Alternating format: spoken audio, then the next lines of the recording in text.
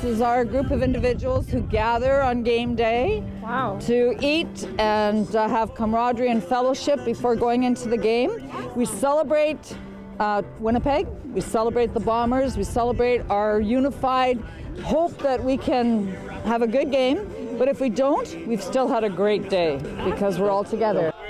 We're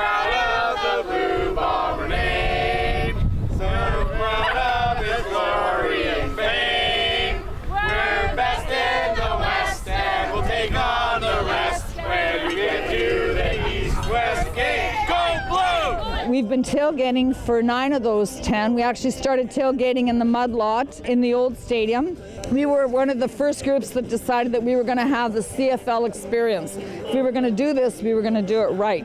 So one of our first tailgates, we had chicken and ribs, and then we had a, a Italian chili, and we were serving it to people. And before we knew it, people around us were deciding, hey, that's a great idea. And now there's this whole group of individuals who get it.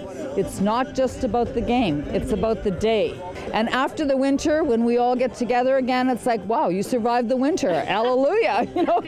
I have a bomber basket that I fill with plates and napkins and hand sanitizer and toilet paper, paper towel. We bring we bought a barbecue as a group. We have coolers on wheels, chairs. We leave no garbage here. And uh, recycling bins. We take it all home with us. We want to make sure that we don't endanger the possibility of the tailgates. And then we have a schedule. You decide which day is your day, and then you bring the main meal. Then you bring snacks or whatever to accompany that meal if somebody else has a tailgate. So we share. When it was our last tailgate, I had chicken kebabs, Caesar salad, a couple coleslaws, a really great margarita cheesecake.